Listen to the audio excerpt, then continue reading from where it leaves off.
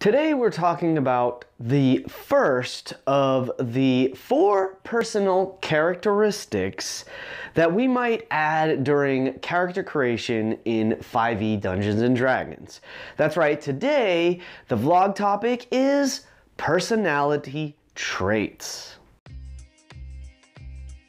So as we kick off this mini series with the first of the four characteristics, we're going to talk about personality traits, how you can use them to broaden and color in, fill in, and flesh out this character that you're in the process of creating. You've probably already handled your ability scores, you've picked your class and your race and so forth, and then you get your weapons and equipment. But at some point, you also want to figure out who is this person that you're about to play in the game? Well, personality traits are the first step in this process of kind of filling in the blanks of who is this person. They're going to give you the they're going to give you the keys to what separates your character from any other person in the world. Or even better, what separates your character from the other characters at the table.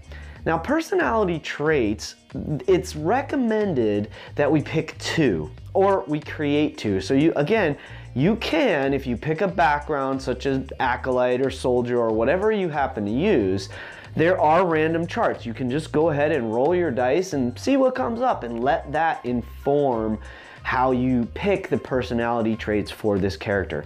Maybe you have something in mind ahead of time and you want to use that.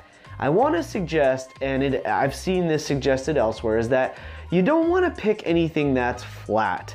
Like saying something like, oh, my character is smart, my character is strong, uh, that's not really a personality trait.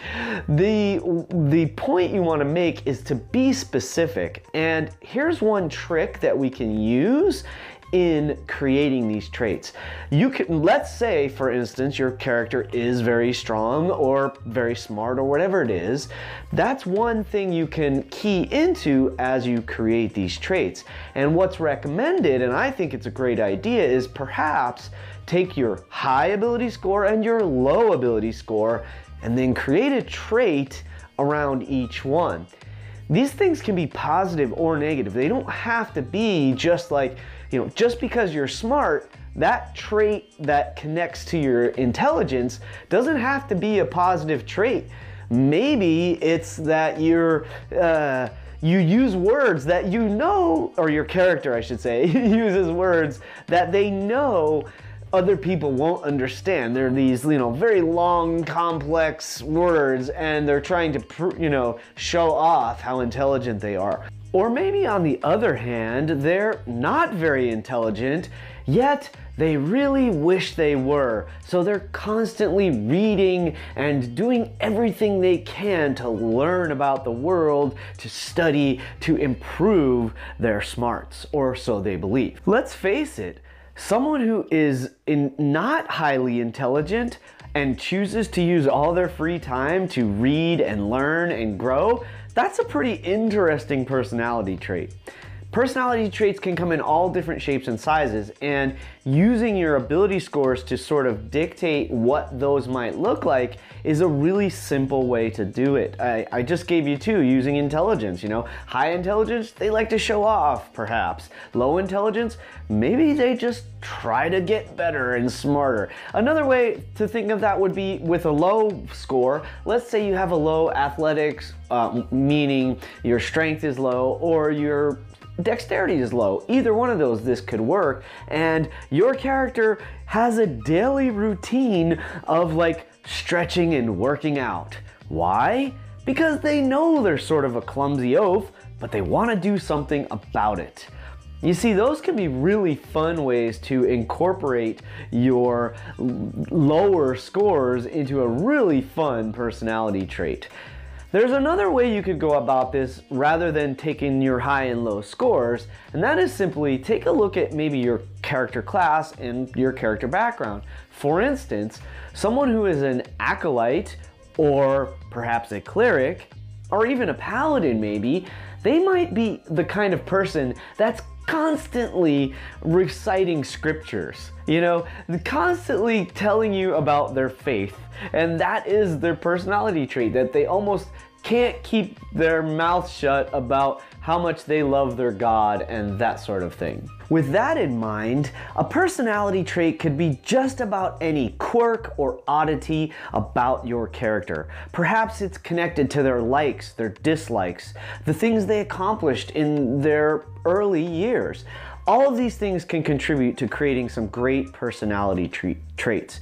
Perhaps you read all the books in your local library, or maybe your character has a love of all things floral. Or maybe they despise uh, disorder and uncleanliness. There's all kinds of options here. There's many different ways you can go about this. I do think it's a great idea to pick two personality traits and perhaps thinking of one that's maybe sort of more positive and one that maybe is perhaps more negative or at least might be perceived that way is a fun way to approach this.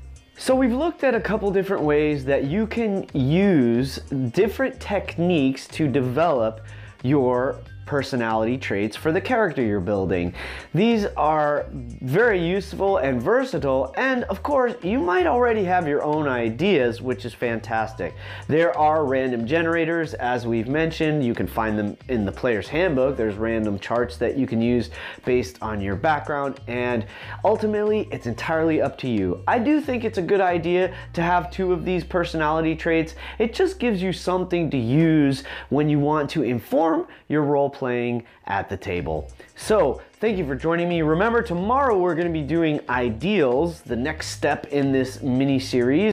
The next step as we talk about personal characteristics for your D&D 5e characters.